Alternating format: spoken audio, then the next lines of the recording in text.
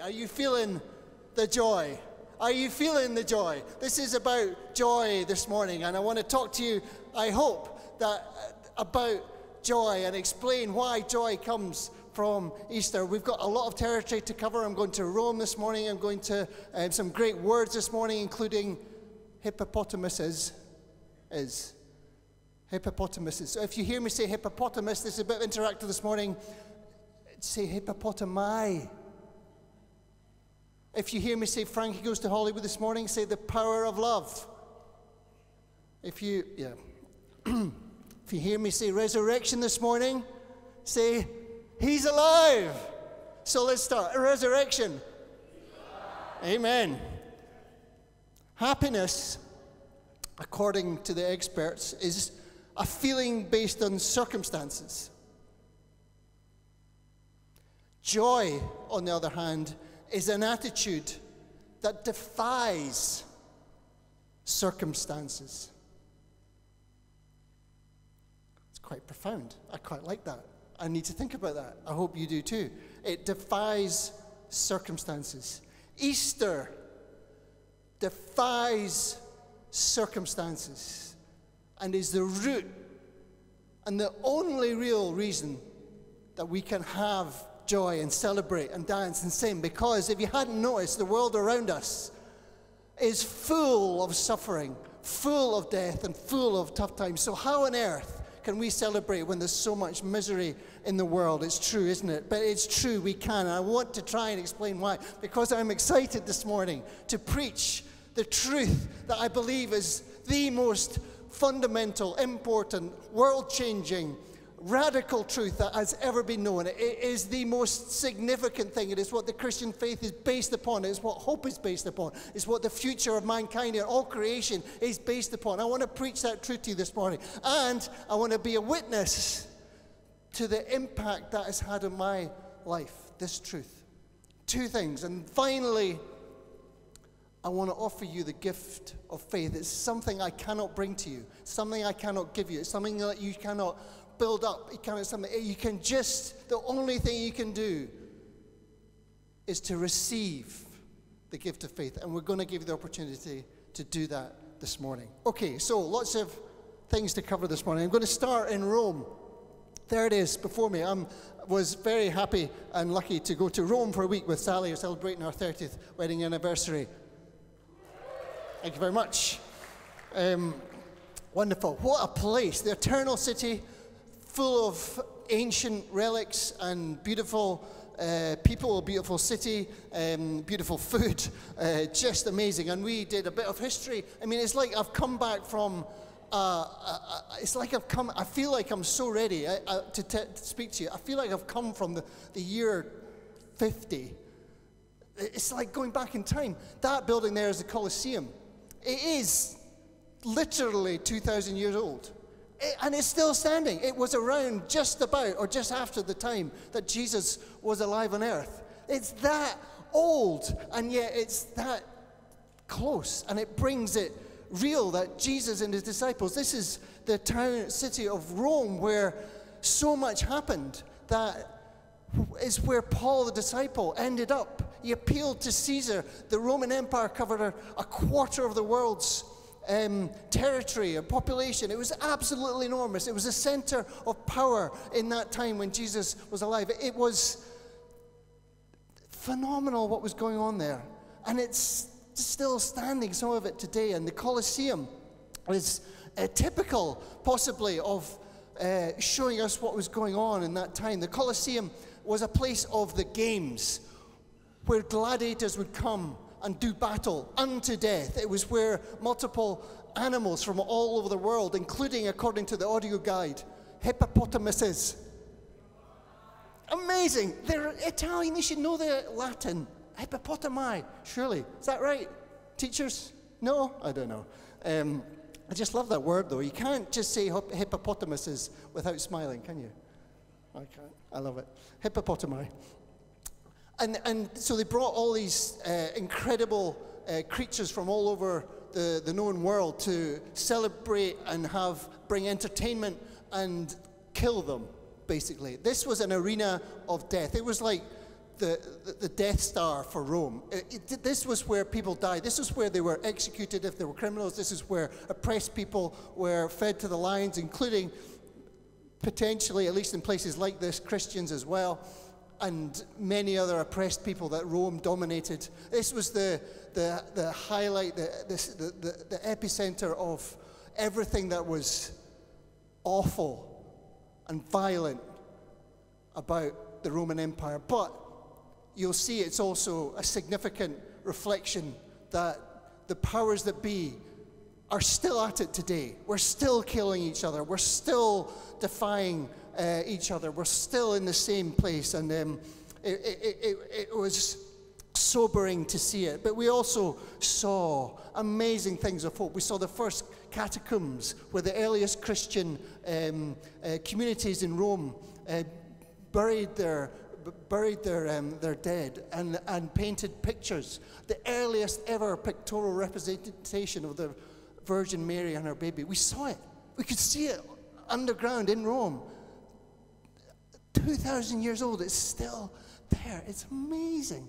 Um, just so many beautiful things and um, powerful things. And uh, I've done some research as well as being in Rome um, about what on earth Easter is all about. If you're confused by Easter, if you're not clear what the message of Easter is, I'm delighted that you're here.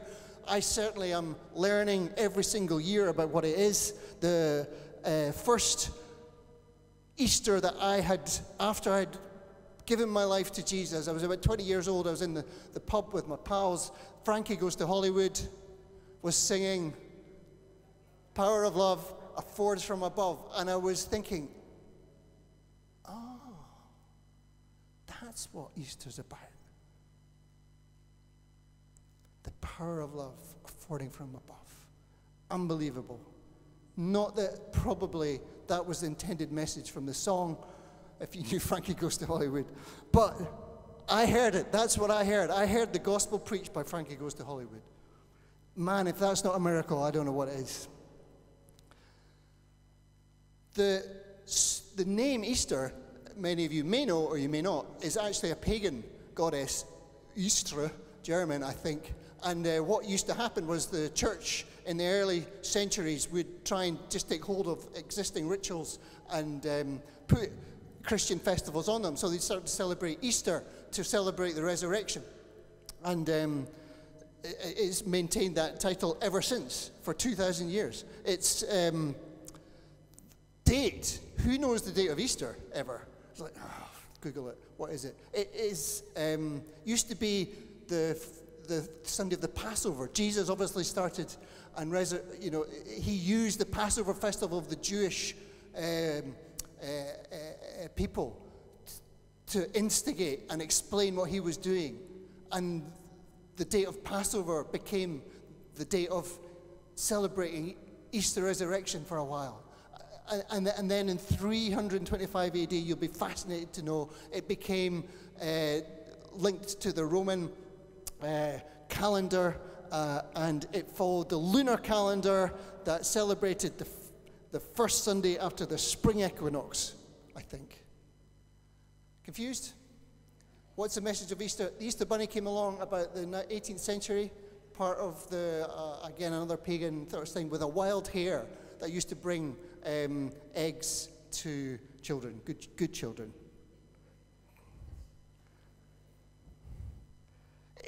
it is easy to see why it's hard to know what the real message of Easter is. But I want to be utterly clear. It is wholly about resurrection. He is alive. Thank you. I remembered. He is alive. This is Resurrection Sunday. He is alive. This is. I'm going to regret this. Paul writes to the people of Rome in the day, back in the day, back in that day, Paul writes to them and says this the people of Rome uh, in the book of Romans, same place. Amazing. I was like there just last week. Anyway, um, Paul, a servant of Christ Jesus, he says in Roman 1, Romans 1 1, called to be an apostle and set apart for the gospel of God, the gospel he promised beforehand through his prophets in the Holy Scriptures regarding his Son, who, as to his earthly life, was a descendant of David, and who, through the Spirit of holiness, was appointed the Son of God in power by his resurrection from the dead. Amen. Jesus Christ our Lord is alive. He is resurrected from the dead. He has not been reincarnated. He has not been uh, made an eternal spirit. He is bodily raised to life. This was bodily resurrection. Nobody in all creation had ever thought the resurrection was an option for anybody, ever. Just because they were 2,000 years ago, they were no more expecting resurrection than you or I are today. This is not about science saying, well, actually, that sort of thing doesn't happen anymore. They had no possible idea that this was going to happen, and we can read about it here, but it did. Next slide. What I found in the Colosseum was this. In the arena of death, that started.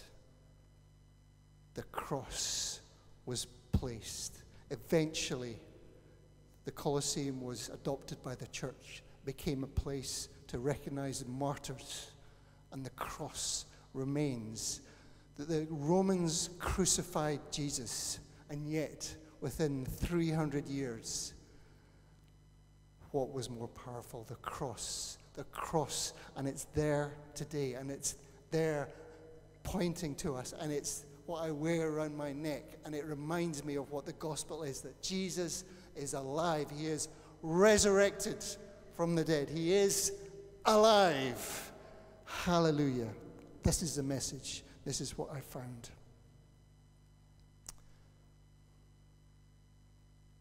If you're still unsure of what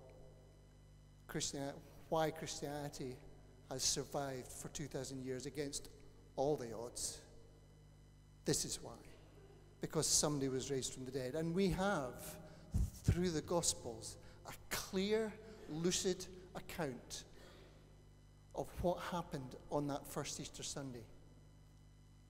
We, we have it in good authority. This is written by Matthew, Mark, Luke, and John. This is the account of the Gospels. We, we can see it, and it's written here, and somehow we miss it. We get direct, misdirected by all these different things that are going on, and we miss this. But I want to bring it to your attention again this morning, more than anything else in the world. I want to bring this to your attention. This is what happened. Here's one of the accounts. This is the one in Luke. And uh, Luke 24, verses 36 to 53, uh, picks up the story of Jesus. He's um, been seen um, by the two disciples on the road to Emmaus, and uh, they're like, What? And they completely turned direction, went back to uh, Jerusalem, met the disciples. While they were talking about it and discussing it, it says this While they were still talking about it, Jesus himself stood among them and said to them, Just let me run that by you again. Jesus, who was completely and utterly crucified. I mean, you don't get up from that. He was dead, rolled uh, uh, behind a stone. The stone was rolled, protecting him from possibly being stolen. Nobody thought he was actually going to rise from the dead. They thought they might pretend. But here it is Jesus himself stood among them and said to him, Then peace be with you. Like you or I, and we are there right now. We are there right now. We're hearing it. This is a good account, a credible account of what actually happened, but it's completely unbelievable. They were startled and frightened, thinking they saw a ghost. Well, wouldn't you? The guy's dead. He's right standing in front of me. There is nothing that says, oh, yeah, I knew that. He was, he was going to rise from the dead. Would you have said that? Would we say it today? Uh-uh. We, we, we're like them. They're not different. They're humans, and they're going like, you have to be a ghost. And he says, look at my hands. Uh, Actually, why are you troubled? Jesus says. I'll tell you why. You're dead and you're standing right in front of me. That's why I'm troubled. Why do doubts rise in your mind? Because it doesn't happen. Look at my hands and my feet. It is I myself. Touch me and see. A ghost does not have fl- flesh and bones as you see I have. This was bodily resurrection. He had flesh and bones. He was not a spirit. He was a resurrected human being, fully divine, resurrected, the firstborn, we learn later, of all creation. This is what is on offer to you and to me. This is the gospel bodily resurrection, the victory over death. That is the gospel. That is why it is the most significant, world changing, life changing news that you have ever heard. This is what the gospel is that you will rise again, bodily resurrection, and whatever state your condition of body is, whether you're carbon atoms floating around the universe, the power of God will bring you together and resurrect you into a spiritual body. That is the promise of Jesus. That is the gospel. This is what Christianity is all about. It is bodily resurrection. Death is defeated. There is a future hope for every single one of us. Death no longer reigns. Amen. When he said this, he showed them his hands and his feet. And while they still did not believe it because of joy and amazement, he asked them, Do you have anything here to eat? Still not sure? Let's have a fish supper. Literally. Literally. That's what happened. They gave him a piece of broiled fish and he took it and ate it in their presence. He's, he's alive. He's eating. He's with them. And that's what we're promised in Revelation. He will come and eat with you. He is sharing intimacy. He's sharing life with us again. This is the gospel message. This is the hope that he will actually come and eat with us and be close to us and be intimate with us. He's just not going to explain it. He's just not going to show it. He's going to come and be with us. He said to them, This is what I told you while I was still with you. Everything must be fulfilled that is written about me in the law of Moses, the prophets, and the Psalms. He had been explaining it along the way. The Old Testament, the law, the, laws, the law of Moses, the prophets, and the Psalms, the stuff we read, the Old Testament that we have today, tells us actually, if we read it right, that yeah, this, this was prophesied. This was this had to happen. And, and, and this is what happens. This is so important because I'm not just telling you, well, I'm just telling you evidence of something and asking you to believe it. I'm also going to ask you to enter in to what the, what the first disciples experienced. They saw it firsthand. They had that privilege. And it even says in the Gospels, Blessed are those who have not seen and yet believe. That's you and I. We weren't in the room, but we can read about it. We can't actually touch it, but we can feel it. But what we can do is experience the same thing that the disciples went on to experience. Here it is. He said to them in verse Luke 24 45, then he opened their minds so they could understand the scriptures. He told them, This is what is written the Messiah will suffer and rise from the dead on the third day, and repentance for the forgiveness of sins will be preached in his name to all nations, beginning at Jerusalem. He opened their minds so they could understand the scriptures. That is what happens in response to the gift of faith. You think, well, am I going to get healed? Am I going to get rich? Am I going to get better at life? Am I going to become more moral? What is, why do we come to follow Jesus? Do we, we probably come to want a better life, probably. But actually, what we're offered is something different. Firstly, peace. Secondly, that the scriptures the Bible the most boring book in the whole world until I read it with faith. This gift of faith, and it suddenly became the most precious, the most important, the most uh, incredible, the most wise, the most valuable, the most relevant book in the whole world. From listening to Frankie Goes to Hollywood. Thank you. Power of love affords from above. Every single day, this beautiful Bible has started to speak to me and started to help me over 40 years gradually get to understand oh, this is true. This is what had to happen. And that gift is available for you. That's what you're going to get. If you decide to follow Jesus, you're going to get this weird love of the Bible. Anybody want it? If you receive it, it will be the most transformational thing that you've ever been given as a gift. Plus the peace.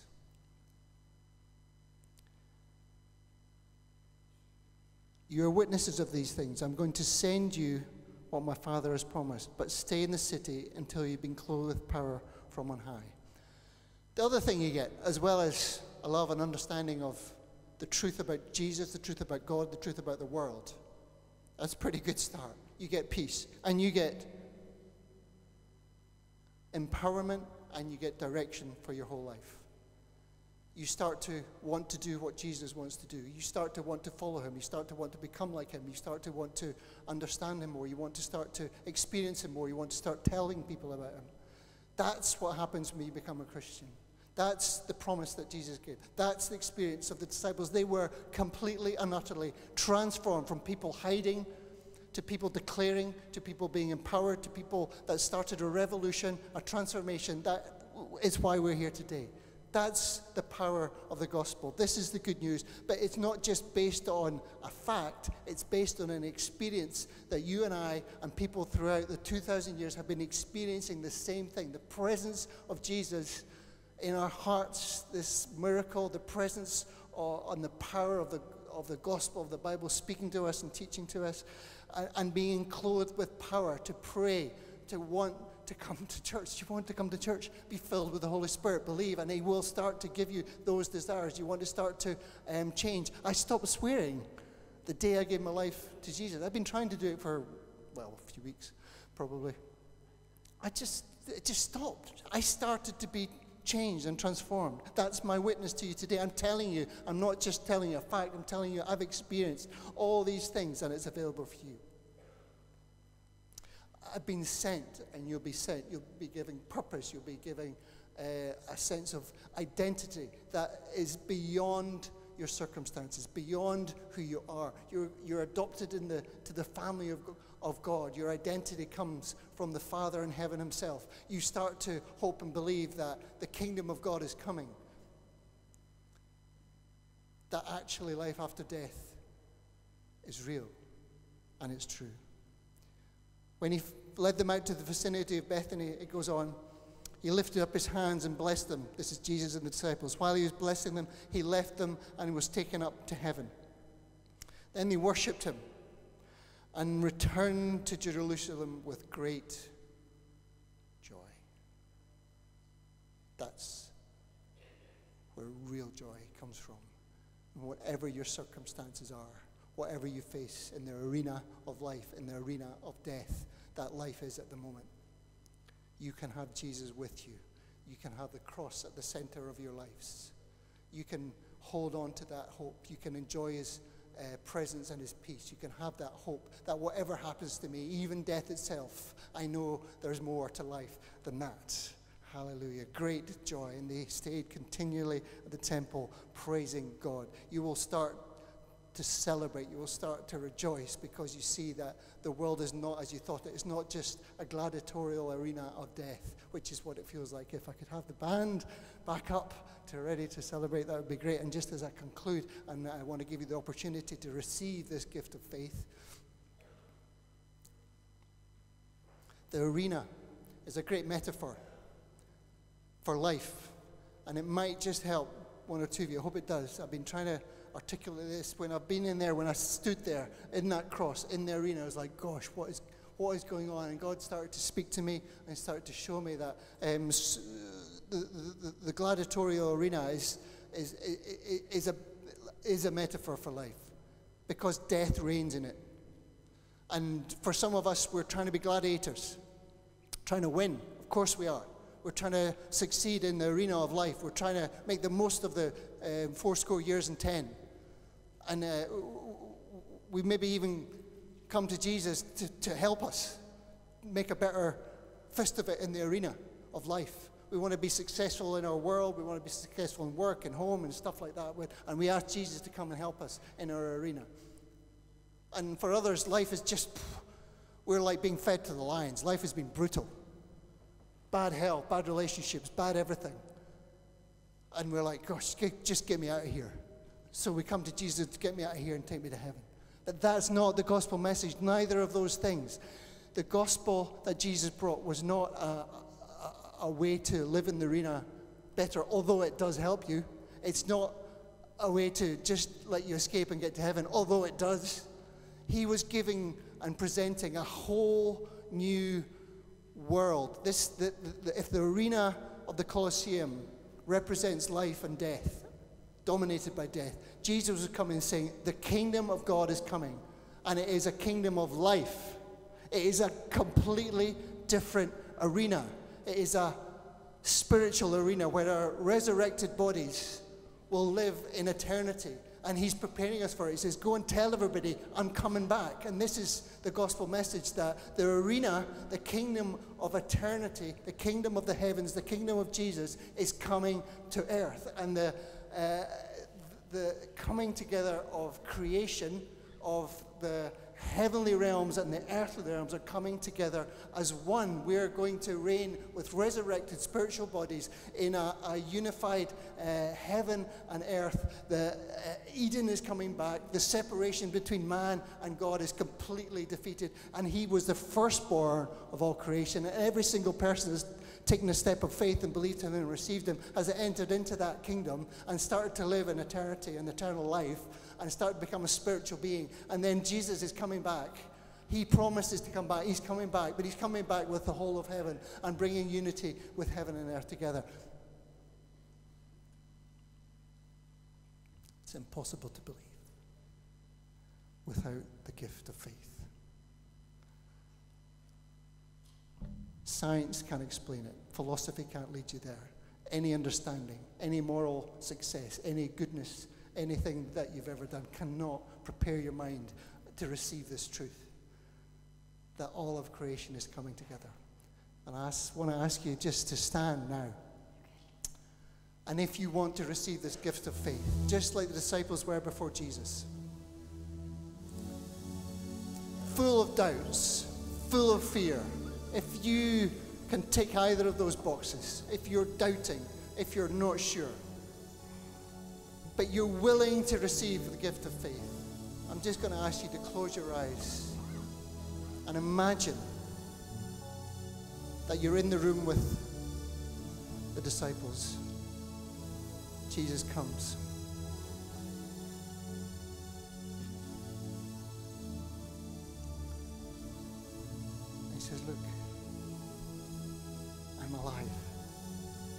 I'm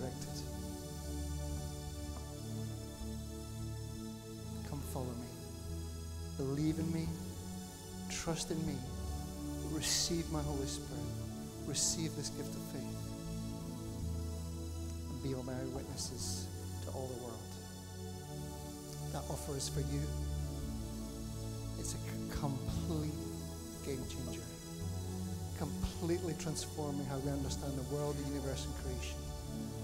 I believe it's the absolute truth as to what we're what we can experience and what is coming, that there is a God who is rescuing the world. And the suffering we're facing in the moment is because we're still in the arena. The kingdom has started with resurrection on Easter Day. But it's not finished, but it is coming to a conclusion one day.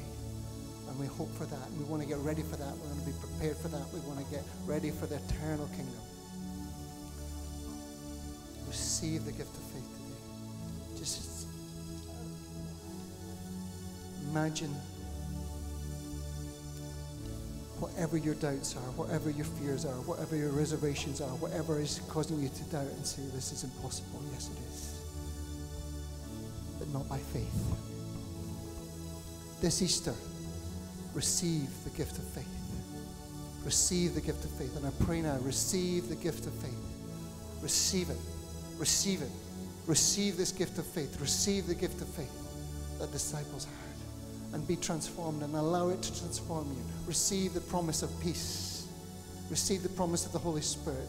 Receive the promise of um, passion for Him. It's the new covenant that Jesus promised that the scriptures lead us to. It's the new covenant that He will put on His Spirit in us. Put His promises in us, His word in us. Thank you, Jesus. Receive it now. Receive the gift of faith. You can't earn it. You can never be ready for it. You can never be prepared for it. You just need to receive it.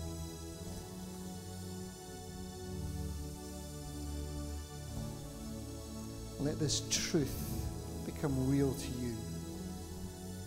That He's alive, death is defeated. There is a future hope